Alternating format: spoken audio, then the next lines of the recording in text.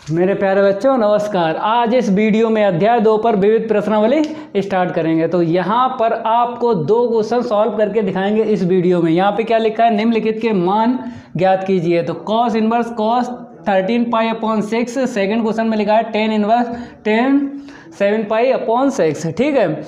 तो हम इसको सॉल्व करके दिखा देते हैं। तो आप लोग क्या करो कॉपी और पेन निकाल लीजिए और साथ साथ लिख ले, लिखते रहना आप लोग। तो यहाँ पर आपको पहला क्वेश्चन सॉल्व करके दिखा देते हैं। सबसे पहले हमने यही बताया था, यहाँ पर जैसे बाई बराबर इसको मानना है। जैसे अगर आपको बराबर पहले से ही क्वेश्चन में दे दिया जाए तो बाई के बराबर नहीं मानना है। तो यहाँ पे बराबर कहीं नहीं है। देखो इस क्वेश्चन में तो बाई बराबर आपको मान लेना है।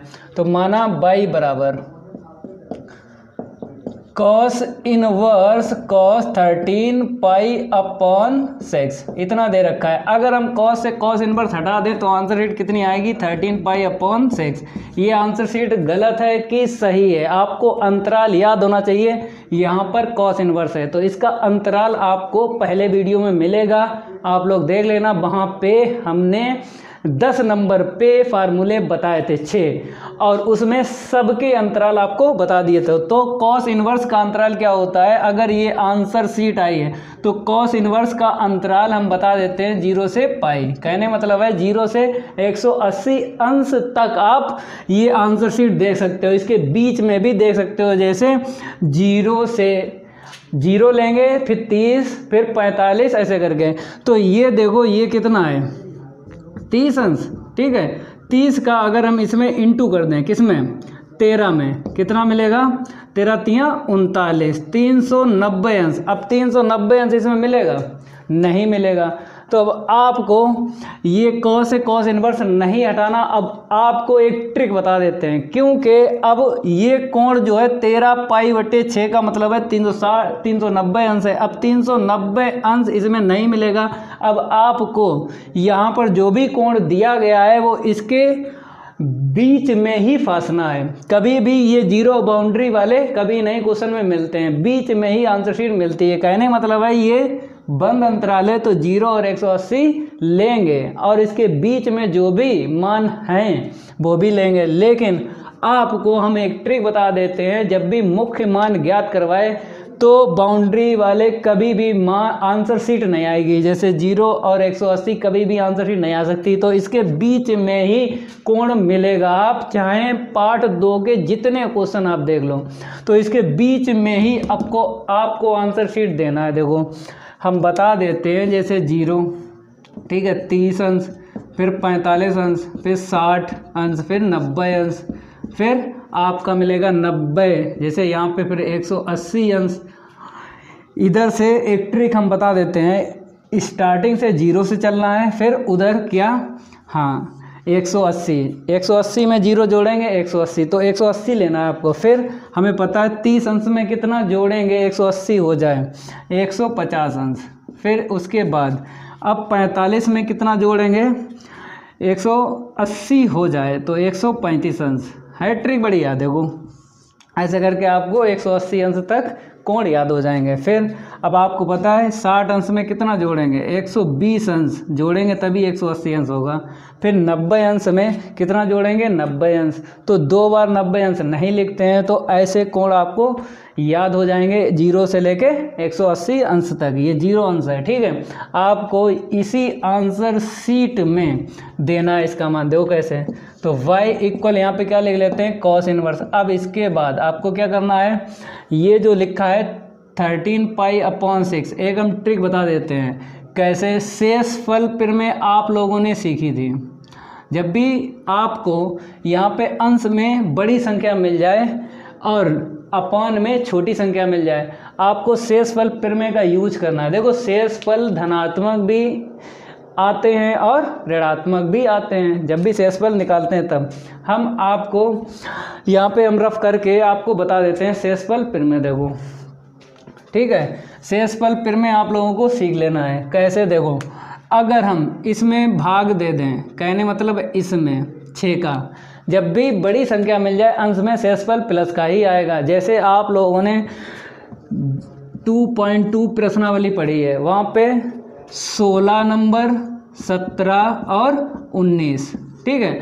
तो 16 क्वेश्चन में और 17 क्वेश्चन में इसमें और इसमें छोटी संख्या ऊपर थी। और नीचे बड़ी संख्या थी। शेषफल माइनस का आया। लेकिन 19 वाले क्वेश्चन में ऊपर बड़ी संख्या थी और नीचे छोटी। तो शेषफल हमने कितना लिया था? प्लस का। तो याद रखना, अगर अंश में बड़ी संख्या मिल जाए और नीचे छोटी संख्या मिल जाए तो शेषफल हमेशा प्लस का ही रखना है आपको। तो छः दूनी बारह, यहाँ पे बारह पाई। कहने मतलब है, आपने भाग दिया तेरह में छः दूनी। अब यहाँ पे टू पाई लिख लेना ऐसे करके, क्योंकि पाई यहाँ पर है तो अंश में जो कुछ लिखेंगे, पाई के सहित लिखेंगे। तो कैसे? अब देखो छः दूनी बारह, दो बार दिया, यहाँ पे टू पाई लिख लेना है। अब इसके बाद तेरह में से बारह जब घटाएँगे कितना मिलेगा? पाई। इतना मिलेगा? ठीक है, अब आपको पता है, ये जो है प्लस का है तो यहाँ पे प्लस लगा लेना है। फिर प्लस का पाई अपॉन सिक्स। ऐसे करके आपको लिख लेना है सेसपल पिर में से अच्छी ट्रिक आपको देंगे कभी भी। मुख्य मान निकलवाए क्वेश्चन में अगर अंतराल में आंसर सीट ना मिले तो हम ऐसे करके निकालते हैं। ये ट्रिक सीख लेना आप लोग। तो कॉस इनवर्स अब आपको पता है ये कितना होता है? 360 अंश, क्योंकि एक पाई का मतलब है 180 अंश। अगर 180 अंश का गुणा दो में कर दें तो कितना मिलेगा? 360 अंश, ठीक है? तो 360 अंश प्लस थीटा आपको देखना है। किस चतुर्थांश में मिलेगा ये? आपको पता है प्रथम चतुर्थांश में। तो प्रथम चतुर्थांश में सारे प्लस होते हैं। तो यहाँ पे क्या लिख लेना है? कॉस पाई बाई सिक्स ठीक है? अब कॉस से कॉस इनवर्स चला जाएगा पाई इक्वल कितना मिलेगा? पाई बाई बाई इक्वल कितना मिलेगा? पाई बाई सिक्स अब ये आंसर सीट लाई करेगी अंतराल में। ये बिलोंग्स टू का मतलब यही होता है कि ये आंसर सीट बिलोंग करना चाहिए किसमें अंतराल में। देखो कैसे ज़ीरो से 180 अंश तक। देखो, इसका मतलब है पाई अपॉन सिक्स का मतलब है तीस अंश। तो ये आंसर सीट तीस अंश, देखो, इसमें मिली है, देखो। ठीक है तो ये आंसर सीट आई है। ये क्वेश्चन कंप्लीट हो गया है। अब आपको सेकंड क्वेश्चन सॉल्व करके दिखाते हैं। मज़ा आया ना? मज़ा आएगा। गर्दा उड़ाएँगे इन क्वेश्चनों का। तो हम इनको रफ करके अब आपको नेक्स्ट क्वेश्चन सॉल्व करके दिखाते हैं। यहाँ पर भी रफ कर दें ठीक है? अब यहाँ पे देखो, दूसरा क्वेश्चन आपको क्या मान लेना है? माना बाई बराबर ten inverse ten seven pi upon six है। इसमें देखो कौन सी ट्रिक लगेगी तो इसे हम रफ कर देते हैं, ठीक है? शेष फल में, क्योंकि अगर हम टेन से टेन इनवर्स हटा दें आंसर शीट कितनी आएगी? Seven pi by six. ये आंसर शीट बिलोंग करेगी अंतराल में। टेन इनवर्स का अंतराल याद होना चाहिए। माइनस नब्बे और प्लस नब्बे के बीच में, खुला अंतराल है तो बीच वाले कोण हमें लेना पड़ते हैं। अगर ये बंद अंतराल होता है बंद का मतलब होता है बड़ा सा ब्रेकेट तो हम बाउंड्री वाले भी हम लेते हैं, लेकिन खुले अंतराल में बीच वाले कोण हम लेंगे। अब देखो, ये कितना है? तीस अंश, क्योंकि आप लोग जानते ही हो, पाई बाई सिक्स का मतलब क्या होता? है तीस अंश। अब इसका इसमें गुणा करो, कितना हुआ? सात तियाँ इक्कीस, दो सौ दस अंश। अब इस, ये देखो, दो सौ दस 210 अंश इसके बीच में मिलेगा? नहीं मिलेगा, क्योंकि माइनस नब्बे और प्लस नब्बे के बीच में 210 अंश नहीं मिलेगा। तो अगर आपने डायरेक्ट आंसर लिख दी सेवन फाइव बाई सिक्स तो गलत हो जाएगी आपको वही लॉजिक सेसपल पिर में। कैसे? देखो सेसपल पिर में। पहले यहाँ पे एक लाइन लिख लेना है उसके बाद सेसपल पिर में आपको बता देंगे। देखो कैसे, ये बड़ा ब्रेकेट लगा लो, क्योंकि एक जैसे ब्रेकेट नहीं लगाए जाते हैं। अगर यहाँ पे बड़ा है तो यहाँ पे छोटा ब्रेकेट। मजला ब्रेकेट भी लगा सकते हो, कोई दिक्कत नहीं। अब देखो, शेषफल पेर में।